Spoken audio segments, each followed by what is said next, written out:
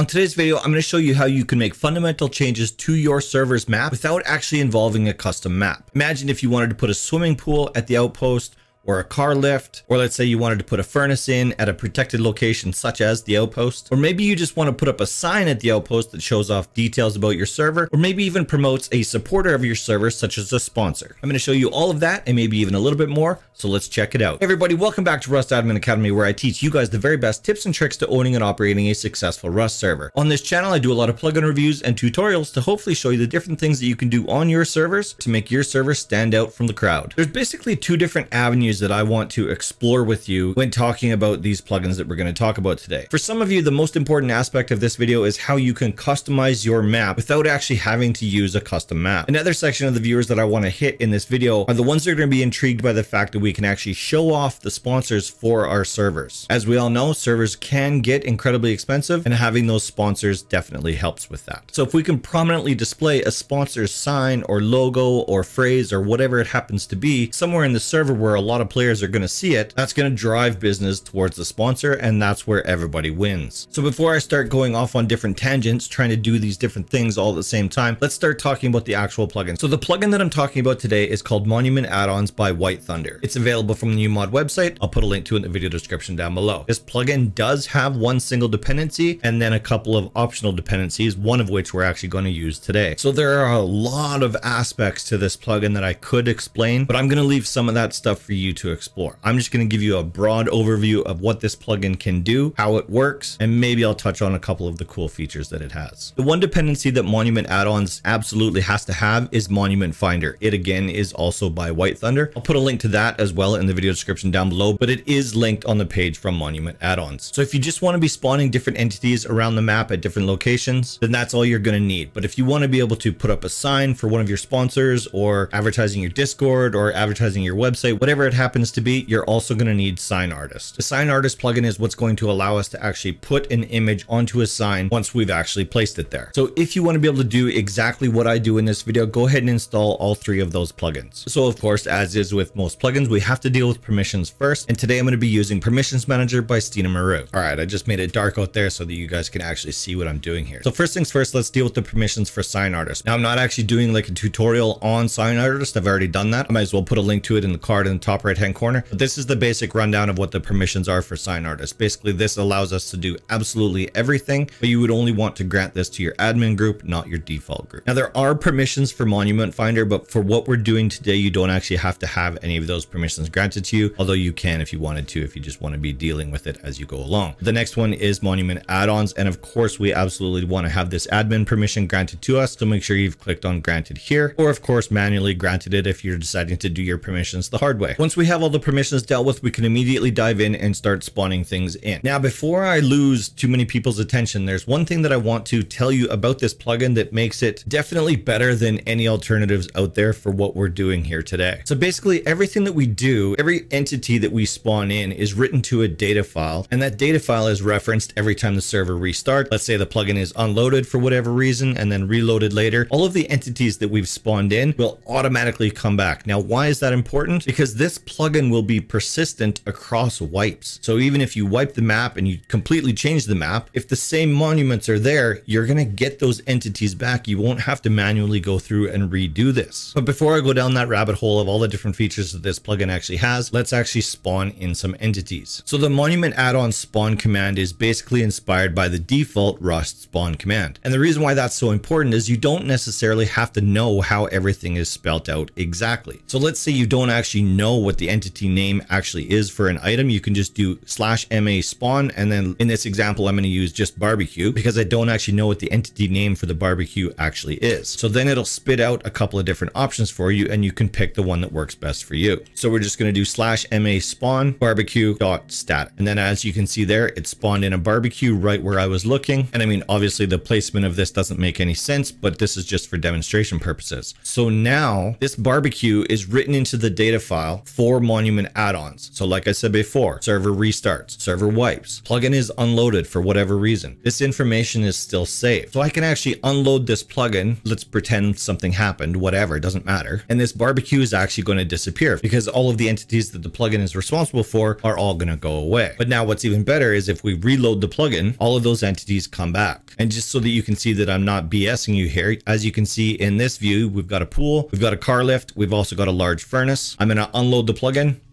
and those things are all gone. I'll reload the plugin back and there they are again. Now, obviously that's not so important for loading and unloading the plugin, although it is a serious benefit. It's more important that this is persistent across wipes. Now, one huge caveat to that though, it's important to recognize that this is only going to work as long as they don't make some huge fundamental change to how monuments are actually situated or their functionality. Like basically as long as the proc gen of the monument stays the same, then this is going to work fine. If for whatever reason they do change it, like like you remember a couple months ago when they changed the dome, satellites, and all that other stuff. Any entities that were spawned at the previous locations before those changes were made wouldn't work correctly after those changes were made. Yeah, I know. I, I got a little messy there. Sometimes things make sense in my head and then when I try to explain them out for whatever reason it, it sounds all garbly goop in my head. I'm not really sure. I hope that makes sense to you guys. So let's just go through and start doing a couple of different things. Let's say you made a mistake. You placed a sign somewhere where you didn't want it or it wasn't sitting at the right angle or whatever. Yes, you can ent kill an entity that you've placed using monument add-ons, but don't do it. There's a built-in command for the plugin that I want you to use instead. The reason for that is if you just ent kill an item that monument add-ons placed placed, it will not remove it from the data file. So in order to remove an entity that you've placed using monument add-ons, you want to use slash ma kill, just like that.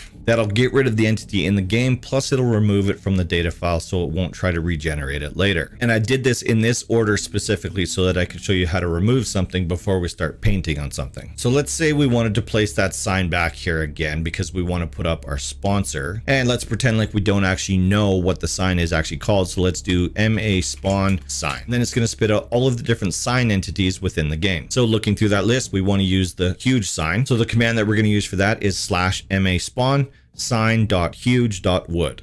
And there we go, it placed it back in there. Actually, I want to show you something else first. If we're looking at a wall at an angle, it's going to place that sign exactly square in front of you. So if you're not looking square at something, you're going to end up with something like this. Clearly, that's not what we want. I mean, uh, unless that is what you want, I guess who knows? I shouldn't assume anything. So I don't want that. So let's do MA kill and let's square ourselves up to this wall about as good as I can get. And let's replace that sign just like that. So there you go. That placed the sign correctly. So let's say we want to put an image on this sign and this image can literally be whatever you want it to be. I suggest using sponsors or Discord or something that promotes your server or your community something like that. However, that all being said, and me knowing the Rust community like I do, you can put whatever you want on here. And only people with the admin permission are going to be able to edit this. So it's not like your signage is going to get vandalized as long as you're putting it up using Monument add-ons. So I just grabbed my header image for my test server that I make YouTube videos on, and I'm going to go up to the sign and I'm going to do slash SIL, and then I'm going to paste in that address that I got from Imgur. And there you go. It pastes my header image, the same one that I use on the server that you're watching right now. If you want to change it, you just change it with another address and then it changes it automatically just like that. Now, once you add an image to a sign within Monument add-ons, this image is now attached to that sign. So if you unload the plugin and reload it or wipe your server or whatever, Monument add-ons is going to put the sign back where it is and then it's going to put the image back there as well. So it's at this point that I need to discuss another one of the cool features that White Thunder has set up within this plugin. Think of setting up different profiles for different sponsors or for different reasons for different events, whatever it happens to be. So you can set up a profile that has specific signs set up at specific locations and specific entities wherever you want them to be. And you can set that all up into one profile. Then you can set up a completely different profile, let's say with different signages or different events or different entities that are spawned around the map. Whatever you want it to be, use your imagination. But then all you have to do is load a specific profile. You can load this profile that we built over here, or you can load this profile that we built over here. You don't have to to use profiles, but you certainly can. And White Thunder has made it super easy to switch between profiles. I'm not going to get into all that on this video, just in the interest of time, but that functionality is there. And because I have the swimming pool here, I know somebody's going to ask, will it also retain the water? And no, the answer is no. You would have to replace the water. Actually, White Thunder, if you're watching this video, maybe there is a way that you can actually make it spawn with the water. I'm not sure. Now, another cool feature about this plugin is when you're dealing with monuments that have multiple entities of the same thing, such as the warehouse,